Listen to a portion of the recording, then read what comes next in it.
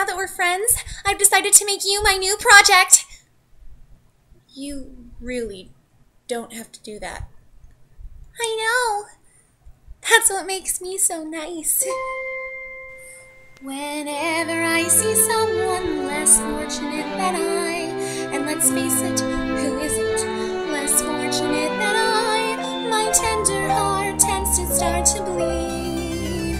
And when someone needs a makeover, I simply I know, I know exactly what they need. And even in your case, though it's the toughest case I've yet to face, don't worry, I'm determined to succeed.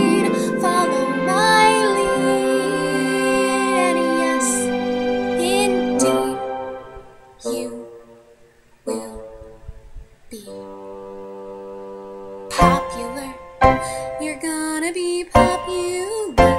I'll teach you the proper ploys when you talk to boys. Little ways to flirt and flex. Oh, I'll show you what shoes to wear, how to fix your hair. Everything that really counts to be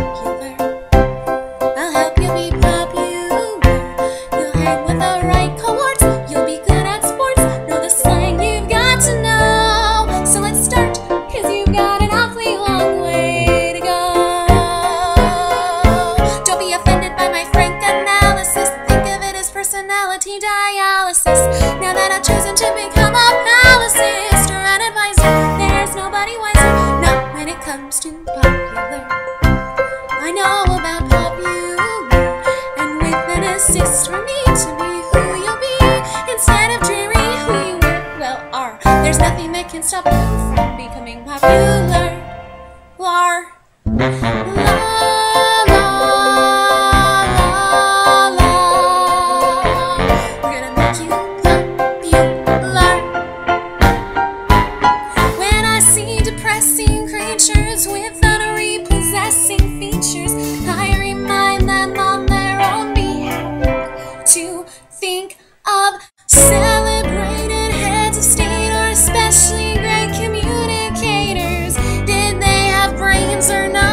Don't make me laugh. they were popular, please. It's all about popular. It's not about aptitude, it's the way you're viewed, so it's very shrewd to be very, very popular, like me. Why, Miss Elphaba, look you. You're beautiful. I have to go. You're welcome. And though you protest your disinterest, I know clandestinely. You're gonna grin and bear it, your newfound popularity.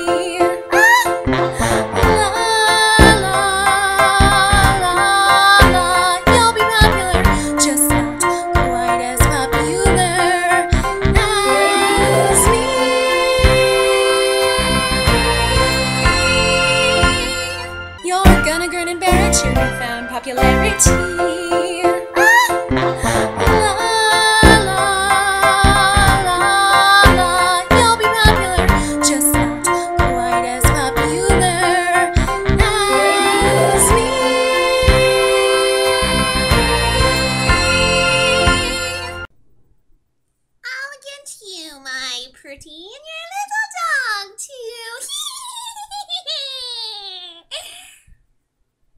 Like a dying cat.